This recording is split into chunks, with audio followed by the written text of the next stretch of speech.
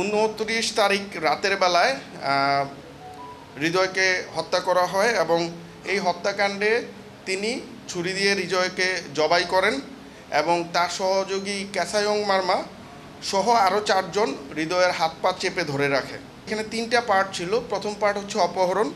এই অপহরণ পার্টে একটা গ্রুপ ছিল, যেই গ্রুপটা মূলত খামারে কাজ করত।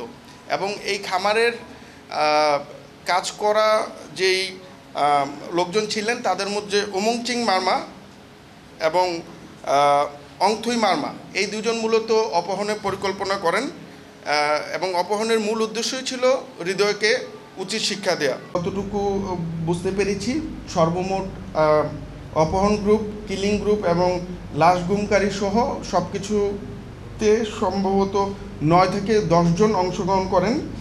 এদের মধ্যে র্যাব কর্তৃক দুইজন এবং অন্যান্য আইন শৃঙ্খলা বাহিনী কর্তৃক ছয়জন। ছয়জন সহ মোট আটজনকে গ্রেফতার করা সম্ভব হয়েছে। অবশিষ্ট আসামিদেরকে গ্রেফতারের ব্যাপারে আমরা কার্যক্রম প্রক্রিয়াধীন রেখেছি। আমরা আশা রাখি যে তাদেরকেও আমরা আইনের আওতায় নিয়ে আসতে পারব।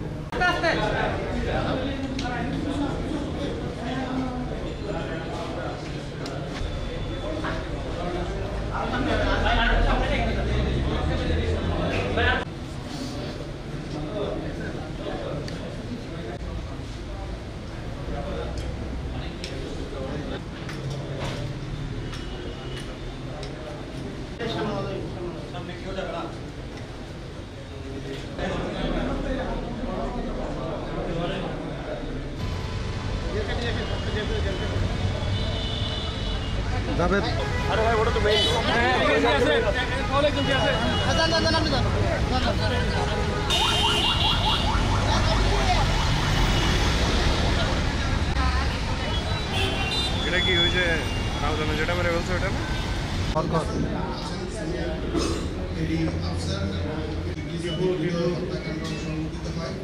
এবং